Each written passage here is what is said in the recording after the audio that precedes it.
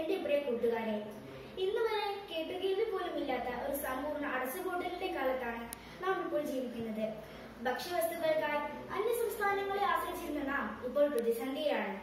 ഇത് മറികടക്കാൻ നാം ഭക്ഷ്യോത്പാദനത്തിൽ സ്വയം പര്യാപ്തത കൈവരിക്കേണ്ടതുണ്ട്.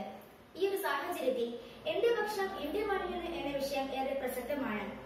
കാർഷിക സംസ്കാരം നിറഞ്ഞു നിന്നിരുന്ന ദൈവത്തിന്റെ സ്വന്തം നാടായ കേരളം ഇപ്പോൾ കെട്ടിടങ്ങളുടെ നാടായി മാറിയിരിക്കുകയാണ്. നമ്മുടെ നെൽപ്പാടങ്ങൾ മണ്ണിന്റെ നികുതി കെട്ടിട സമുച്ചയങ്ങൾ നിർമ്മിക്കുന്നതിൽ മത്സരിക്കുകയാണ് മലയാളികൾ. പണം മുടക്കിയാൽ എന്തും നേടാം എന്ന അവസ്ഥയിലേക്ക് പോകുന്ന മലയാളികൾ ഇപ്പോൾ മടിയന്മാരായി മാറിയിരിക്കുന്നു. മറ്റു സംസ്ഥാനങ്ങളിൽ നിന്നെത്തുന്ന വിഷമയമായ പച്ചക്കറികൾ വാങ്ങി ഉപയോഗിക്കുമ്പോൾ മാരക രോഗങ്ങൾ കൂടിയാണ് നാം വിലയ്ക്ക് വാങ്ങുന്നത്. ഈ അവസ്ഥ മാറണം.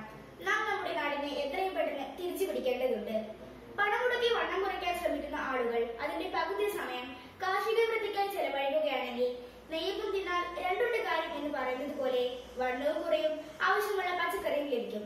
കൂടാതെ ചെടികളിൽ നടക്കുന്ന പ്രകാശ സംശ്ലേഷണത്തിന്റെ ഭാഗമായി ധാരാളം ശുദ്ധവായുവും ലഭിക്കും. നമുക്കറിയാം കോവിഡ് പത്തൊമ്പത് എന്ന മാരക രോഗം വൻകിട രാജ്യങ്ങൾ ഉൾപ്പെടെ സമസ്ത മേഖലകളെയും തകർത്തെറിഞ്ഞതിന്റെ ഫലമായി നമ്മുടെ സമ്പദ്ഘടന തകർന്ന് തരിപ്പണമായിരിക്കുകയാണ്. ഇത് നമുക്ക് തിരിച്ചു പിടിക്കേണ്ടതുണ്ട് കസ്തൂരി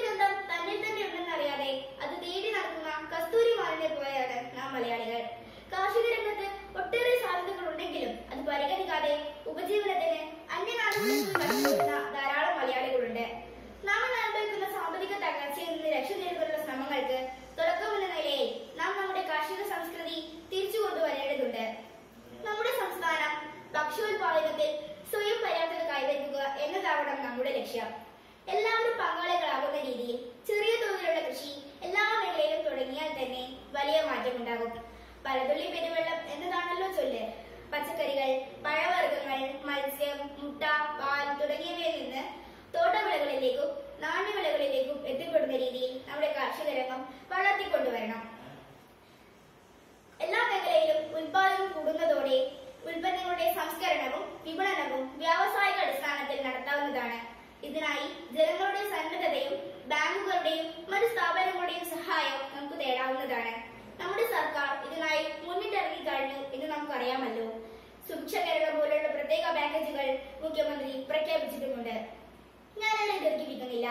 ആരോഗ്യമുള്ള ജനതയാണ് ഒരു നാടിന്റെ ഏറ്റവും വലിയ സമ്പത്ത് എന്ന് നാം തിരിച്ചറിഞ്ഞുകൊണ്ടിരിക്കുന്ന ഈ ഒരു സാഹചര്യത്തിൽ ആരോഗ്യവും സമ്പത്തും ഒരുപോലുള്ള ഒരു ജനതയെ വാർത്തെടുക്കുന്നതിനായി എന്റെ ഭക്ഷണം എന്റെ നിന്ന് എന്ന മുദ്രാവാക്യം ഉയർത്തിപ്പിടിച്ചുകൊണ്ട് അണ്ണാരക്കണ്ണിന് തന്നാലായത് എന്ന രീതിയിൽ നമ്മുടെ നാടിന്റെ ഉയർച്ചയ്ക്കായി നമുക്കും കൈകൾ കോർക്കാം എന്ന് മാത്രം പറഞ്ഞുകൊണ്ട് ഞാൻ എന്റെ വകുപ്പ് നിർത്തുന്നു. നന്ദി നമസ്കാരം.